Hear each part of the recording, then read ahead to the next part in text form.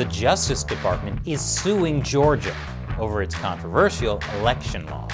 Is this about ensuring equality, or is this a power grab?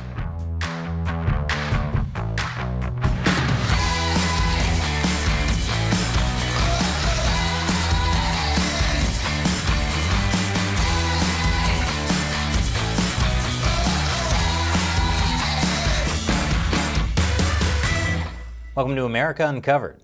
I'm Chris Chappell.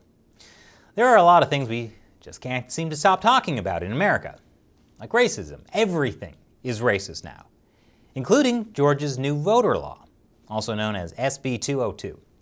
It was passed back in March by Republicans who said they wanted to ensure voter integrity. Many Democrats are outraged with this law's revisions to absentee voting, early voting, and voter ID requirements. So for more details on what the law actually changed and how it's not quite what you might think, check out the episode we did back in April. President Biden has called Georgia's voting law a blatant attack on the Constitution and good conscience. Several civil rights groups have sued Georgia for violating the Voting Rights Act of 1965, along with the First and 14th Amendments. And now, the U.S. Department of Justice has also filed a lawsuit against Georgia. It was announced by Attorney General Merrick Garland and the head of the Justice Department's Civil Rights Division, Kristen Clarke. Today, the Department of Justice is suing the state of Georgia. Our complaint alleges that recent changes to Georgia's election laws were enacted with the purpose of denying or abridging the right of black Georgians to vote on account of their race or color in violation of Section 2 of the Voting Rights Act. The Justice Department's suit takes particular aim at the law's provisions for absentee voting, including those that prohibit election officials from distributing unsolicited absentee ballots and those that limit the number of drop boxes for those ballots. According to Kristen Clarke, Georgia's law has new and unnecessarily stringent identification requirements to obtain an absentee ballot. Opponents of the law say it's designed specifically to stop black voters. Supporters of the law say the rules are specifically designed to prevent voter fraud. In fact, the law uses the same language on voter IDs for absentee ballots as current federal law, a law that was passed in the Help America Vote Act of 2002, which Senator Joe Biden voted for. So is Biden as racist as the Georgia voting law? Or is neither of them racist? I don't have a good answer to that. Meanwhile, the Department of Justice is being led by Merrick Garland. He's a liberal who was nominated to the Supreme Court by President Obama in 2016, but denied confirmation by the Republican-led Senate. But then in 2021, President Biden nominated him as Attorney General, and the Senate, which is now led by Democrats, confirmed him easily. Now, I'm not saying Merrick Garland has a grudge against Republicans because the Justice Department's attack on the Georgia voting law may be bigger than that.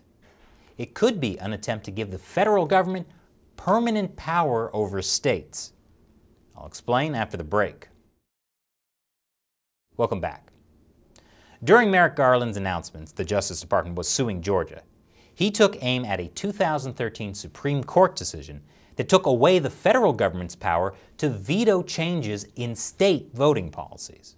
Eight years ago today, the Supreme Court issued the decision in Shelby County versus Holder. Prior to that decision, the Justice Department had an invaluable tool it could use to protect voters from discrimination Section 5 of the Voting Rights Act. Under that section, any change with respect to voting in a covered jurisdiction could not be enforced unless the jurisdiction first proved to the Justice Department or to the United States District Court for the District of Columbia that the proposed change did not deny or abridge the right to vote on account of race, color, or membership in a language minority group. The Voting Rights Act was made in 1965 in response to a long history of racist voting discrimination. Section 5 was meant to enforce the 15th Amendment, which outlaws voter discrimination. However, it was meant to be temporary. It was renewed four times. The last time was in 2006. And then in 2013, the Supreme Court decision in Shelby County v. Holder made a final decision to get rid of Section 5. The court ruled states with a history of voting discrimination no longer needed to get federal approval for changes to their election procedures. The court stated that Section 5 is based on outdated statistics and discriminatory practices that have already been eradicated, and that the U.S. no longer has the pervasive, flagrant, widespread, and rampant discrimination that was common in the South 50 plus years ago.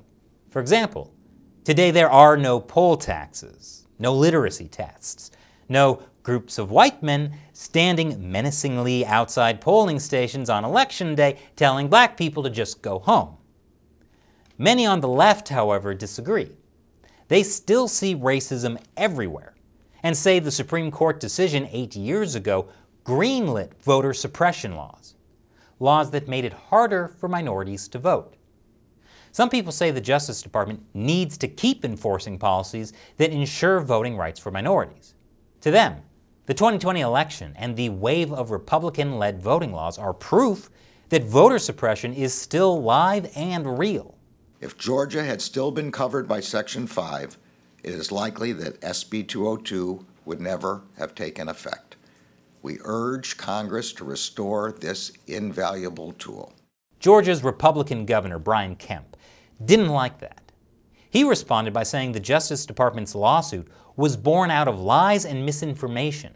He also argues the Biden administration is weaponizing the Justice Department to carry out their far left agenda. Is this a move to advance a far left agenda? Is it a move to give the federal government more power over states? I'll explain more after the break. Welcome back. So many on the right criticize the Justice Department for pushing a far left agenda with their lawsuit against Georgia. Separate from the lawsuit but related is a bill in Congress called the John Lewis Voting Rights Advancement Act. It aims to overturn Shelby County v. Holder, by listing new criteria that would require states to get approval from the federal government for changes to their voting laws or electoral districts. For example, states would have to get approval from the federal government if they've had 15 or more voting rights violations in the past 25 years. The bill also requires states to get approval from the federal government if they have voting districts with racial or language minority groups that make up at least 20% of voters. This would give the Justice Department the power to veto changes of polling place locations, voter ID and registration requirements, and the electoral district boundary lines in many states. Conservatives fear this bill would force racial gerrymandering, make race the predominant factor in the election process, advance the partisan interests of one political party, and prevent common sense election reforms like voter ID. They say activists in the Justice Department will advance far left agendas using the race card since it would be up to states to prove that they aren't racist. But would the Justice Department do that? A 2013 report from the Justice Department Inspector General found the voting section of the Civil Rights Division hires a majority of its lawyers from five left leaning organizations. And some have accused Kristen Clarke, the current head of the Civil Rights Division, of having said hateful things in the past. While she was a student at Harvard University, Clarke wrote a controversial article arguing that extra melanin gives black people greater mental, physical, and spiritual abilities than white people. Later, Clarke explained it was meant to show how absurd racist theories from white people sound. Though, she didn't make that clear when she wrote it. Many Jewish organizations aren't a fan of Clarke either. While at Harvard, she invited anti Semitic academic Tony Martin to speak.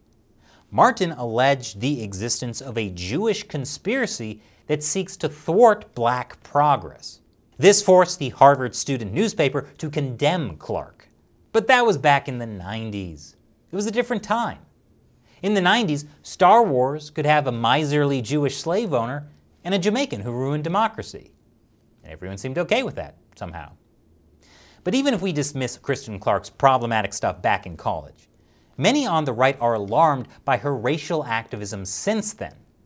According to a Justice Department official, while she was the head of the NAACP Legal Defense Fund, Clarke demanded the Justice Department drop a case against a black political official for violating the Voting Rights Act even though he was engaging in racial discrimination against white voters in Mississippi. She also pressured the Justice Department to drop a case against two members of the new Black Panther Party who intimidated Philadelphia voters. Having her in charge is definitely making some people think the Justice Department will cater to leftist agendas. But as I said, the bigger issue may be the Justice Department wants power over state voting laws. If this bill passes, it will give the federal government a lot more power. And people on the left should be concerned about this too. Next time there's someone like Donald Trump in power, whoever he picks for the Justice Department will be able to stop states from changing their laws too. So what do you think? Leave your comments below. And remember, America Uncovered is supported mainly by viewer contributions. Please support us with a dollar or more per episode by visiting patreon.com slash America Uncovered. Once again, I'm Chris Chappell. Thanks for watching America Uncovered.